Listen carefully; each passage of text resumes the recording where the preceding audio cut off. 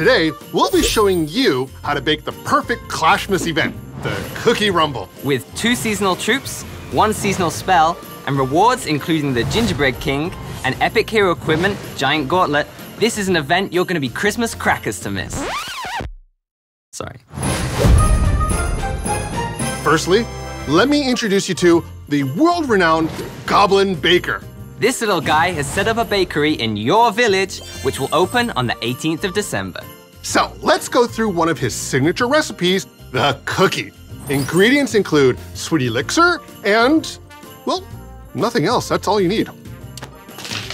Sweet elixir can be collected from the bakery and by attacking other villages. It's distributed across three random defensive buildings, so you're gonna have to do more than just barges this time.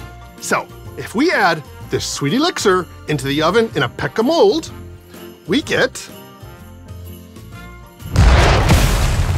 A cookie! cookie. Cookie is a gingerbread mini P.E.K.K.A whose splash damage destroys anything with a single hit. So consume with caution because This is one tough cookie.